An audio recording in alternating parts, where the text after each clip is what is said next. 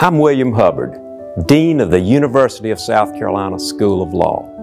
On behalf of the law school, it is my distinct honor to express deepest gratitude for the transformative investment in our school by our distinguished alumnus, Joseph F. Rice. The Rice family has steadfastly supported USC in myriad ways.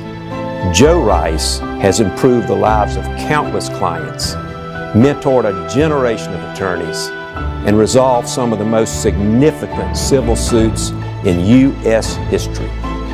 We are proud to honor and embrace the Rice family legacy as we welcome you to the University of South Carolina Joseph F. Rice School of Law.